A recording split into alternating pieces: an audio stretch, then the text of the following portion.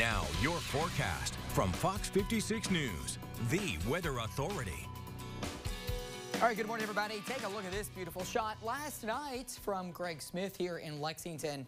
Uh, that was as the sun was going down. But remember, yesterday we still had some of those clouds that were drifting in around that low pressure, that trough that is in the Ohio Valley. And I told you we would see an increased clouds, but look at that. The sun's rays here uh, being seen as it's going down, kind of being reflected by the clouds. Nice looking shot as always. If you have a picture that you'd like to send my way, just uh, find me on Facebook or Twitter and you'll be able to send it on over or email me here at Fox 56. All right, look here.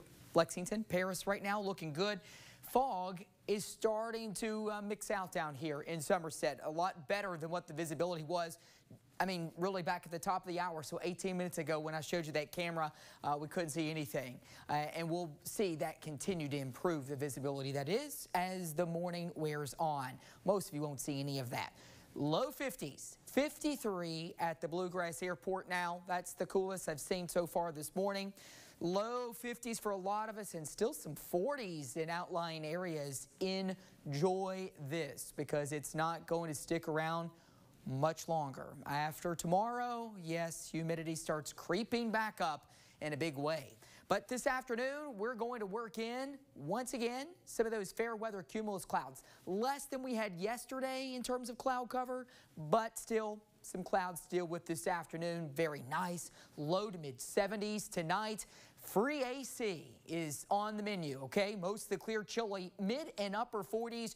Open up the windows and let that yeah, fresh air in. As we go into the upcoming weekend, here comes a warm front. That warm front pushes through on Saturday into Sunday. The cold front pushes through. Still looks like our best rain chance now is coming into Saturday afternoon, and that chance remains a little higher through Saturday night and into Sunday morning. By Sunday afternoon, the front's pushing out. There could still be a few scattered lingering showers into Saturday, Sunday rather afternoon across southeast Kentucky, but overall our best rain chance is looking late Saturday, Saturday night into early Sunday. We go into next week though, and then another front starts moving in from the west, and it brings a scattered storm chance late Monday, and then it continues with that front just hanging in the area Tuesday, Wednesday. And this is why I was telling you to enjoy the low humidity. Our muggy meter, yep, pleasant today. Tomorrow, Saturday, it starts rising. That's because we're increasing moisture in time for some rain that move in. Sunday, you'll feel it, and you're really going to feel it in the next week. We may get our first oppressive level in the next Wednesday. Krista, are you ready for it? I That's, already know the answer. It's so gross. Gross. I'm not ready for it.